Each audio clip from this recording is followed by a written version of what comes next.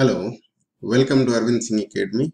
Uh, We are discussing sequence and series and this is a lecture number 4. I hope you have already watched part 1 to part 5 before watching this part 6. In fact, this is a part 6.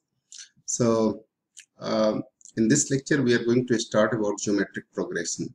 So, what is geometric progression and how to deal with this?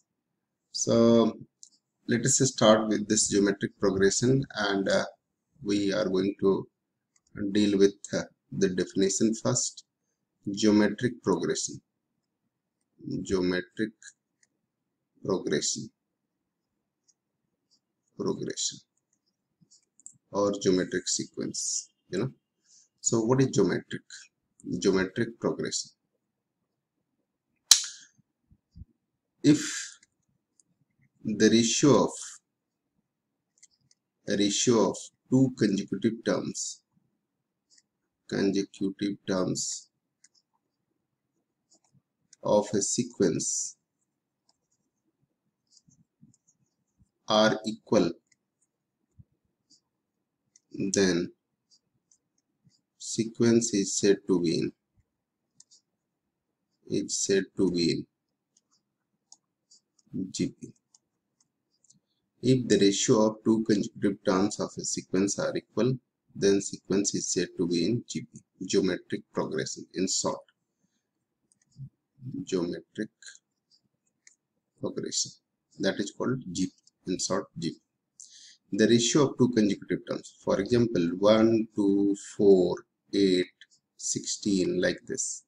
This is a sequence right now Similarly, uh, what is the ratio? Because second term divided by first term is equal to here T2 by T1 is 2 by 1 that is 2 and T3 by T2 is also equal to 4 by 2 that is 2. So since ratio of the two consecutive terms, this is two consecutive terms, this one is two consecutive terms and the ratio of these two consecutive terms are same, they are E2 same and then sequence is said to be in GP. Similarly, some other examples can be considered like 3, 9, 27, 81 like this. This is also a sequence in GP. Here also 9 divided by 3 is 3, 27 divided by 9 is 3 like this. So they are same.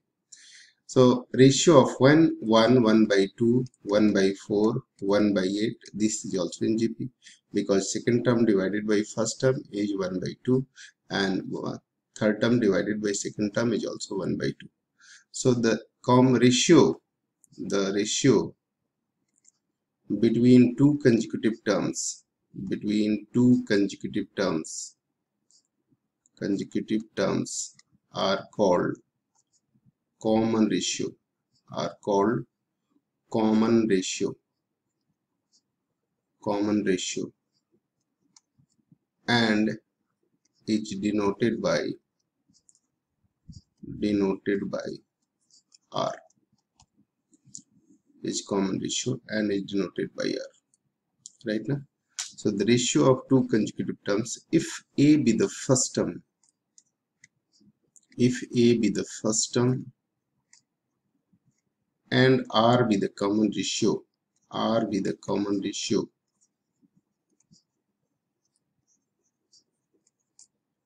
then GP will be will be A AR AR square AR cube like that. AR to the power n minus 1 if you think about that this one is first term this one is second term this one is third term this one is fourth term. In fourth term coefficient of uh, power of r is 3 in third term power of r 2 in first second term power of r is 1 so therefore this must be nth term because power is n minus 1 so that is therefore it is called nth term of gp here nth term of gp is denoted as tn that is ar to the power n minus 1 that is called nth term nth term of gp right? Now nth term of gp so nth term of gp is nothing else but ar to the power n minus 1 this is nth term from beginning. Similarly nth term from end can be also calculated like l last term divided by r to the power n minus 1 so that is the same thing. You can do from beginning or from end okay for example if i write here a ar ar square and last term say is l then previous than that will be l by r then l by r square then l by r cube isn't it? So last term from end is l l is last term and last term from l n is this is the first term from last second term from last third term from last fourth term from last and in fourth term power of r is 3 and therefore we can write nth term from end nth term from end of gp is nothing else but L upon R to the power n minus 1. L upon R to the power n minus 1. Remember this. Where L is last term. Where L is last term. Where L is last term. So, general term and R is common ratio. You know that. General term are these two one first one is this one is called general term so general term of gp general term of gp is called ar to the power n minus 1 that is nth term is called general term. Nth term is called general term. Because if you put a value of any n is equal to anything you will get the uh, first term second term and third term etc so this one is called general term of an ap gp general term of gp right now so this will be general term. I hope you got it okay so this one is called general term of gp now let us solve some questions on the basis of this so that you will be able to understand it how to apply this general term and what would be the use of this formula. So before moving ahead i would like to solve some questions related to it. And uh, let us discuss some questions from exercise 9.3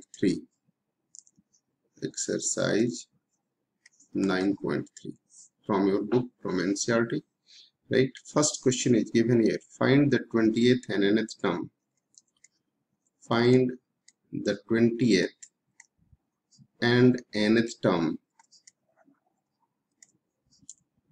of GP GP 5 by 2, 5 by 4, 5 by 8, etc. So here first term solution is there. Here first term is 5 by 2. That is the first term. And common ratio is given by T2 by T1.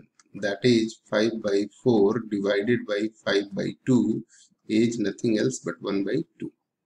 So R is 1 by 2 we have to find 20th term. We know Tn is equal to AR to the power n minus 1 and therefore when n is equal to 20 uh, for therefore for n is equal to 20 when n is equal to 20 T20 will be what A is 5 by 2 and R is 1 by 2 whole to the power 20 minus 1. I hope you got it. So what will happen that will be t20 therefore t20 is equal to 5 into 1 by 2 to the power 19 and multiply by 2 so power will increase by 1 so 1 by 2 to the power 20 right now so power is 1 by 2 to the power 20 or you can write simply 5 2 to the power 20 and 2 to the power 20 is very big number. Not necessary to calculate. You will write answer like this only. Right now okay. Now the nth term. Nth term of this is and therefore also nth term. Nth term is 5 into 1 by 2 to the power n minus 1 5 by 2 into this. So that will be 5 upon 2 to the power n and that will be answer. So i hope you got it right? Now Now the next question is, second question from this exercise, if the 12th term of GP, find the 12th term of GP, find the 12th term of GP whose 8th term is, whose 8th term is, 8th term is 192 and common ratio is 2 and common ratio is 2 common ratio is 2 eighth term is 92 and common ratio is 2 so eighth term. We know solution is there and we can write for solution. We know tn term is ar to the power n minus 1 and therefore T8 must be equal to AR to the power 7 that is what A is not known but R is 2 2 to the power 7 since T8 is given 192 is equal to A into 2 to the power 7 minus 2 to the power 7 8 is so 1 by 20 2 to the power 7 is R is 2 na so 2 to the power 7 is 128 that is nothing else but 128 2 to the power 7 is 128 so therefore a is equal to 192 upon 128 we can write it. And uh, that will be uh, 3 by 2 right? Now that is 3 by 2 and now uh, we have to find 12th term. So now t12 is ar to the power 11 and a is what?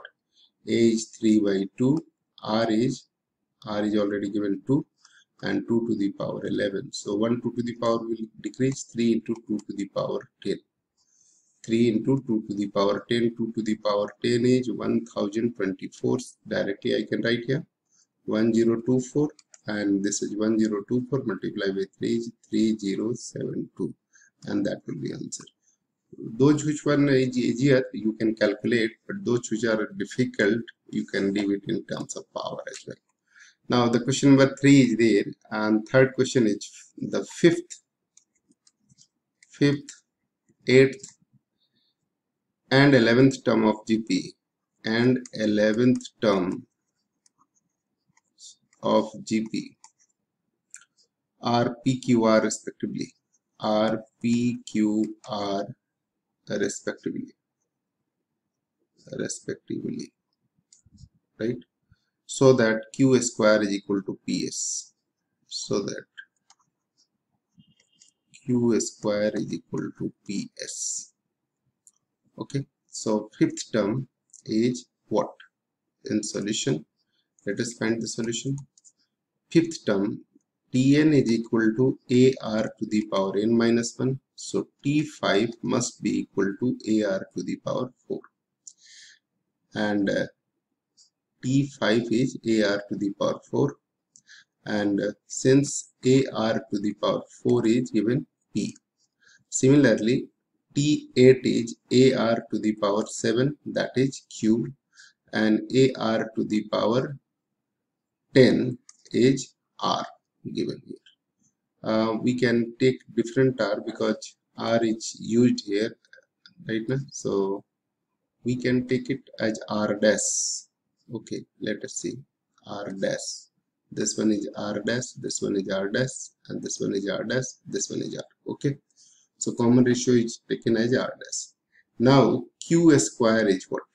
Therefore, Q square is what will happen if you go for q square that will be a square r to the power r dash to the power 14 that can be written as a r to the dash to the power 4 into a r dash to the power 10 and this is nothing else but pr p and r. So q square is equal to pr that is proved. Right now one is this is the p you have seen here and this one is r. So q square is equal to pr now the next question is here and question number four. Let us see what is question number four. The fourth term of gp the fourth term of GP fourth terms of GP is a square of is a square of its second term its second term square of second term. And the first term is and the first term is minus 3 determine its seventh term.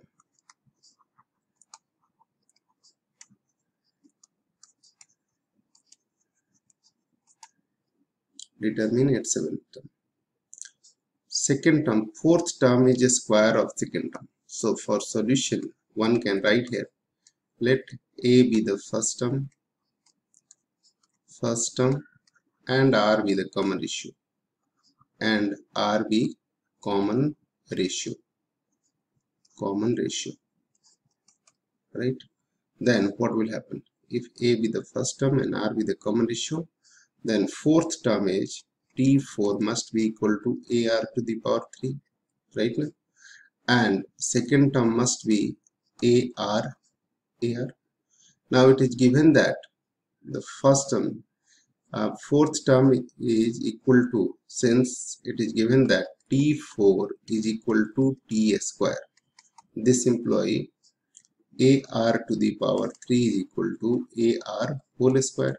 This employee ar to the power 3 is equal to a square r square. That can cancel and a and a cancel. So r is left here and a is left here.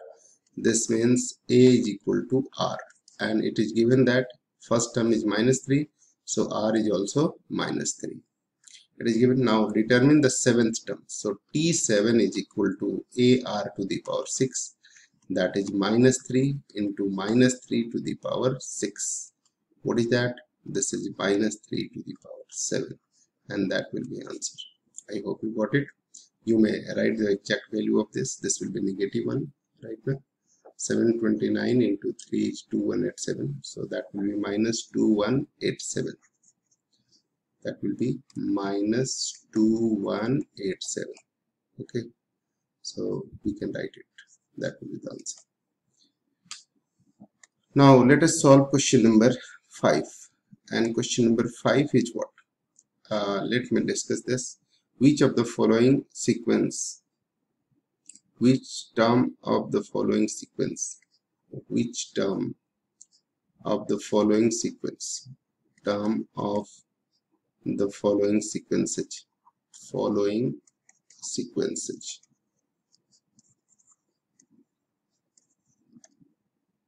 Sequences. Part a is given. That 2 2 root 2 4 is 128 right? So which term is 128 that means you have to calculate here value of n. So a is 2 here r is 2 root 2 divided by 2 is root 2 and tn is set this is tn is 128 we have to find n right now? So apply the formula. Tn is equal to ar to the power n minus 1 this employee tn is 128 a is 2 r is 2 to the power 1 by 2 root 2 and power is n minus 1 so this cancel this 64 times. So 64 is equal to 2 to the power n minus 1 by 2 and 64 is nothing else but 2 to the power 6 is equal to 2 to the power n minus 1 by 2 and this employee n minus 1 by 2 is equal to 6 that is n minus 1 is equal to 12 and n is equal to 13 so n is equal to 13 answer for first question for part a. For part b we can calculate like part b there is root 3 3 3 root 3 and this is 729 again in the similar fashion here it is given that a is root 3 r is root 3 right? Now 3 root 3 divided by 3 is root 3 and tn is 729 got it? Tn is 729 you have to find value of n.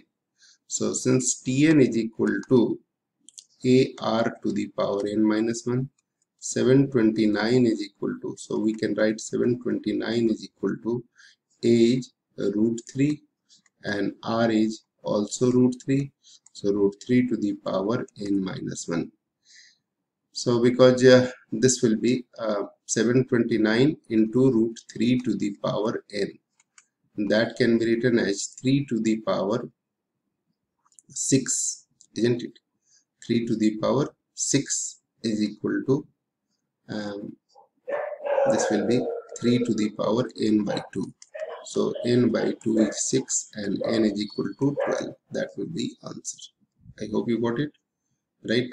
So n is 12 now part c is there one more question of this category. C is there and this is 1 by 3 1 by 9 1 by 27 is 1 upon 19683 right this is what.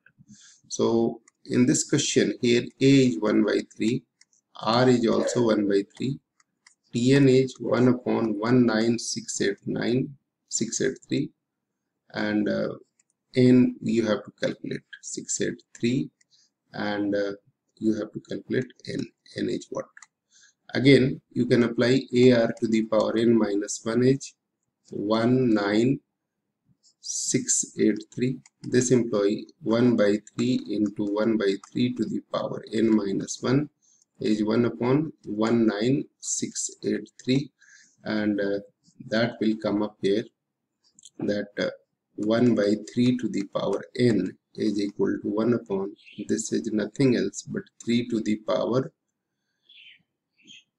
8 9 9 3 to the power 9 i think. Right now so that is that can be written as 1 by 3 to the power 9 isn't it?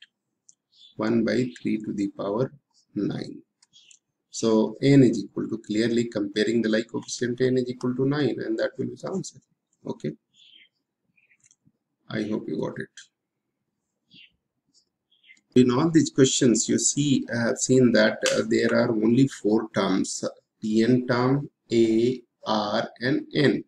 These are the four terms. Out of these four terms any three of them are given and you have to calculate the fourth one. So you need to just apply the formula and uh, calculate it. Nothing else about it let us solve some other questions and this question is question number six. This is for what value of x? For what value of x? Value of x the numbers. The numbers minus 2 by 7 x and minus 7 by 2 are in gp are in gp right now for what value of x the numbers this are in gp so you can calculate according to rule that if it is in gp then second term by first term if minus 2 by 7 x and minus 7 by 2 are in GP, then it must be second term by first term that is x divided by minus 2 by 7 must be equal to minus 7 by 2 divided by x. This employee x square is equal to minus 7 by 2 into minus 2 by 7. 2 to cancel 7 7 cancel and minus minus plus so it will be 1 this employee x square is equal to 1 and x can be plus minus 1 so so that's all in this lecture and uh, we are going to take a short break and thereafter in next video we will discuss uh, this next concept of GP. so i hope you understood it. So please uh, revise it again and um, if there is anything which you are not able to understand please ask in the next session. And uh, till then god bless. Keep watching and don't forget to subscribe this channel. Also share uh, among your friends as well thank you. Thank you very much